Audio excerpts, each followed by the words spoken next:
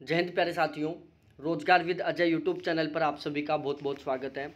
आज मैं इस वीडियो में बात करने वाला हूँ राजस्थान में जो पीटीआई का एग्ज़ाम होने वाला है, देखो राजस्थान में पीटीआई की भर्ती निकली हुई है और उसका जो एग्ज़ाम है वो 25 सितंबर को होने वाला है, जिसमें पेपर फ़र्स्ट है जो 10 से 12 बजे के बीच में होगा और पेपर सेकंड है जो ढाई से साढ़े चार बजे के बीच में होगा।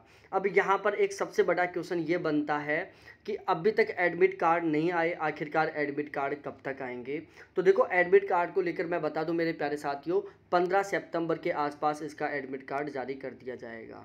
ठीक है? तो 15 सितंबर के आसपास आपके एडमिट कार्ड आ जाएँगे। 25 सितंबर से पेपर है। लगभग 10 दिन पहले आपका एडमिट कार्ड आ जाएगा। ठीक है? और बिल्कुल ऑलवेज इसी तरीके से आप अपडेट रहना चाहते हो, क्योंकि मैं जल्दी एक वीडियो लेके आने वाला हूँ, जहाँ पर मैं बात करूँगा कि पीटीआई में पिछली बार कट ऑफ़ कितनी गई थी।